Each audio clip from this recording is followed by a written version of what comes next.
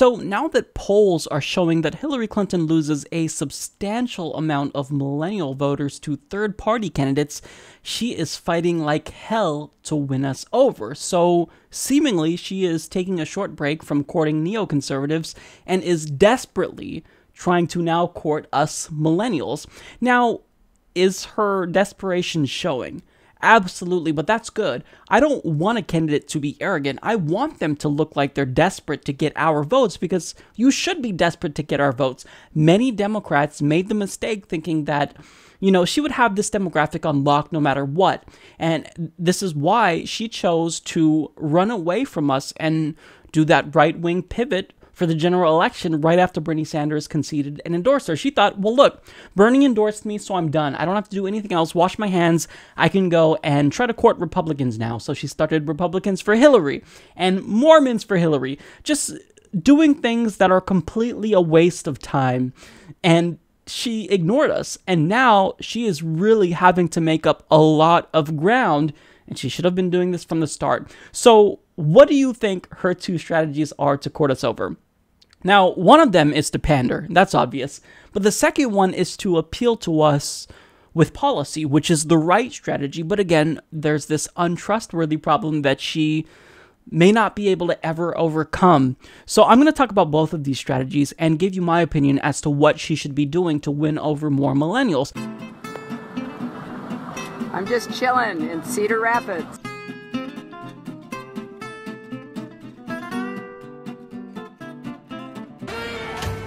How do you do, fellow kids? So, when it comes to the pandering, almost immediately after it was revealed that she doesn't have millennials on lock, she penned an article for Mic.com titled, Here's What Millennials Have Taught Me oh, it's just extremely cringeworthy and left a terrible taste in my mouth. So she states, Your generation is the most open, diverse, and entrepreneurial generation in our country's history. And if we work together to take on the barriers that are holding you back and unleash your full potential, that won't just improve your lives, it'll make our entire country stronger. From the first days of this campaign, you have shared the problems that keep you up at night and the hopes that get you up in the morning. You've reached for the opportunities that come with a college education at the highest rates of any generation in history, but faced with ballooning tuition costs and crushing student debt like never before. Many of you entered the workforce during the worst recession since the Great Depression, and you've come of age during two deadly, costly wars in the Middle East which I helped start, but she didn't say that. And yet, despite all these challenges, you've never given up, not even close. This is really bad. You know, it, it's just. She's pandering way too much. It comes off as, how do you do, fellow kids, to me? And look, we don't care about these meaningless platitudes. We care about the policies. Now, to be fair to her, she did get to some policies towards the end of the article. She talked about tuition free colleges, uh, paid family leave, and uh, what else? She talked about uh, jobs for millennials, which is a problem for us. But I mean, nobody believes her because she's only talking about these things now that she wants our votes. So, I mean, in this article, she basically tried to pull a Bernie Sanders, but it came off as really, really disingenuous to me. Now, here's what else Hillary Clinton did to appeal to millennials in terms of pandering. She went on Between Two Ferns with Zach Galifianakis, and look, even though it was funny and I enjoyed watching it, I mean, it's not something that's going to help her earn my vote. It's clearly pandering, it's lacking in policy substance. Again, it was funny, but this isn't what you need to do. So, I mean, in terms of winning over millennials, she seems clueless. I mean, she has no idea, besides pandering and trying to bring out Katy Perry and Lena Dunham, people who we don't like. Uh, it, I just feel like all hope is lost. She has no idea what to do.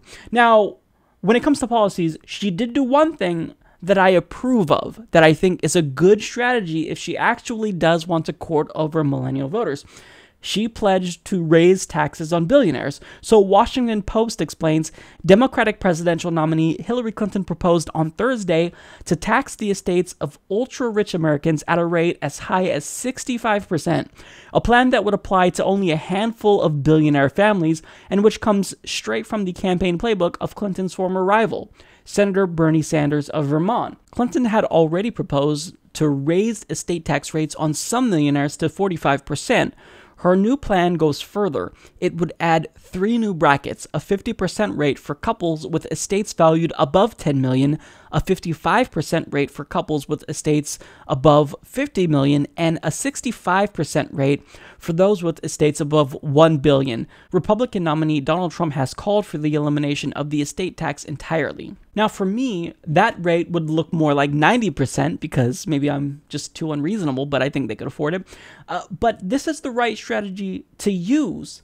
However, the problem is that we can't necessarily believe that you'll go through with this policy, like your free college tuition policy, which I also like because you're only talking about these types of policies now that you desperately want our votes. So, why aren't you talking about this all the time? Why should we believe that this is a policy you actually are going to fight for? That's always going to be a problem for Hillary Clinton, no matter what policy she proposes, because look, you should have been doing this from the beginning, but you have a serious trust deficit. So, I mean, because of this trust deficit, it seems like anything she does is a lost cause. I don't necessarily believe that fully. It's not going to work on certain people. You've lost their votes permanently, and there's nothing you can do to earn those votes back. But there is some things that you can do to potentially persuade at least more millennials to come on board.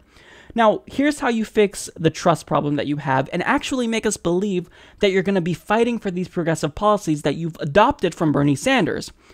I want you to say these things no matter who you're talking to. I don't want you to be one way with conservatives and then be another way with progressives and millennials.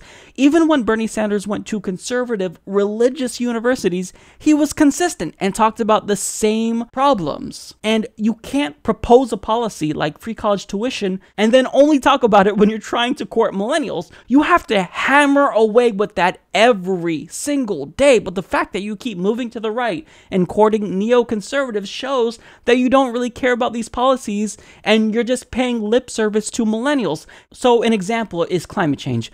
That is the most important issue to me, hands down. I mean, a close second is getting money out of politics because I think that unless you get money out of politics, these spineless politicians aren't actually going to get any effective climate change legislation so long as they're bought and paid for by the oil and gas industry and the fracking industry.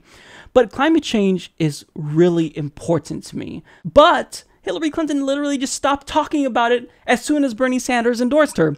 The Guardian found that since Sanders endorsed Clinton on July 12th, the full focus of the Clinton campaign has swung to Trump. In 38 speeches since that date, Clinton has mentioned climate change specifically eight times, just once in every five public addresses. Stop talking about Trump. We don't want to hear about Trump. Millennials already know he's an idiot talk about the issues, hammer away at climate change. And even though I don't believe that you'll actually do anything about climate change since you take money from fracking companies and oil and gas lobbyists, not doing anything about climate change still gives you the advantage over Donald Trump and makes you exponentially more better than him on this issue because Donald Trump said that he plans on backing out of the Paris Climate Agreement on day one.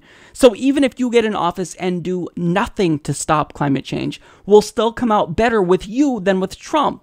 Why aren't you talking about this? Why aren't you talking about the fact that 375 scientists, people who millennials respect, like Stephen Hawking, penned an open letter urging people to not vote for Trump? That's how you attack Trump and talk about Trump if you're actually going to be talking about him. But if you stick to the issues, that's how you're going to court millennials. If you remain consistent on these issues and constantly talk about them, that's how you court millennials. Another problem is that even if you talk about these policies nonstop, I can't believe that you'll actually do anything about these policies because why am I supposed to believe that you're going to go against the interests of your donors? So here's what you should do if you want millennial voters give back every single penny that you took from them, or at the very least, stop accepting money from them. And I might actually think you're going to be willing to fight for us and not them.